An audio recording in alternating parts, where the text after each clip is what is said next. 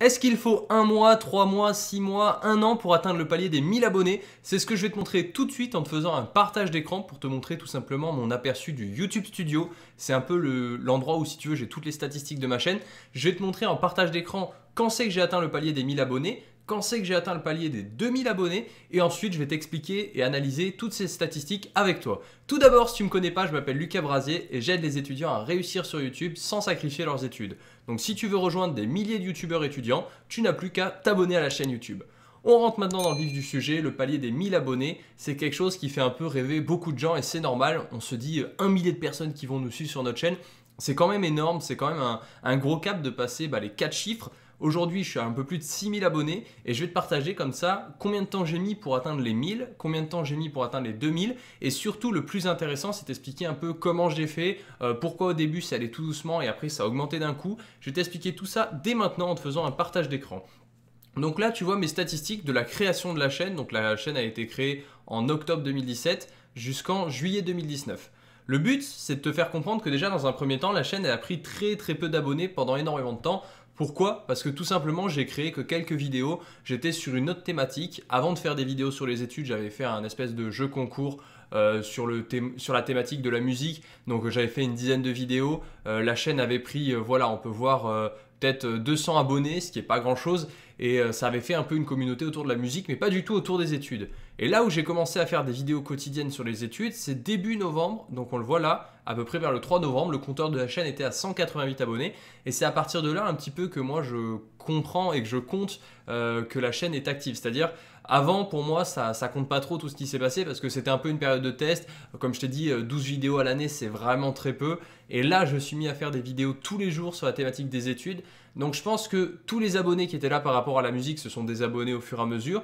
Et tous ceux qui sont arrivés par rapport aux études se sont abonnés. Ce qui fait que peut-être la courbe de croissance a été un peu ralentie au début. Mais pour moi, le 3 novembre 2018, c'est un petit peu comme s'il y avait eu zéro abonné sur la chaîne YouTube parce qu'il fallait tout recommencer entre ceux qui allaient partir et ceux qui allaient arriver. Donc on peut voir que le contenu quotidien m'a permis comme ça d'atteindre déjà un mois plus tard 100 abonnés en plus sur le compteur. Et ensuite, on peut voir l'évolution au fur et à mesure des mois. Et là, on voit que la croissance, ça fait un petit peu pour ceux qui ont fait des maths comme une exponentielle. C'est-à-dire qu'au départ, c'est un petit peu lent. L'algorithme met du temps à capter un petit peu le type de contenu que tu vas proposer. Et plus on avance au fur et à mesure du mois, plus là, on voit, avril, ça commence à 962, puis deux jours après, 1035, euh, 1300. Euh, donc pour te donner un petit peu un ordre de grandeur, en novembre 2018, j'étais un petit peu à 200 abonnés qui étaient autour de la musique, donc ils se sont désabonnés au fur et à mesure. Pour atteindre le cap des 1000 abonnés, il a fallu que j'attende jusqu'en mi-avril, je crois, 2019. Donc euh, on, peut, on peut compter euh, décembre, janvier, février, mars, avril. Il a fallu 5 mois pour passer le cap des 1000 abonnés. Si tu veux compter vraiment le delta 200 à 1200, on peut voir par curiosité, c'est le mois de mai, donc 5-6 mois à peu près il a fallu à la chaîne YouTube pour faire plus 1000 abonnés. Par contre, ce qui est intéressant de voir, c'est que le cap des 1000 abonnés a été atteint en avril et que le cap des 2000 a été atteint en juillet, soit mai, juin, juillet, euh, trois mois plus tard. Donc on voit que YouTube, c'est vraiment pas quelque chose de proportionnel. On voit que ça évolue vraiment genre euh, d'un seul coup et ça, prend une grosse croissance parce que je me suis vraiment centré sur une thématique particulière. Donc c'est pour ça que si j'ai un conseil à te donner pour atteindre ton premier millier d'abonnés, c'est vraiment de commencer sur un, sur un domaine de niche, une thématique ultra précise où tu vas créer énormément de contenu.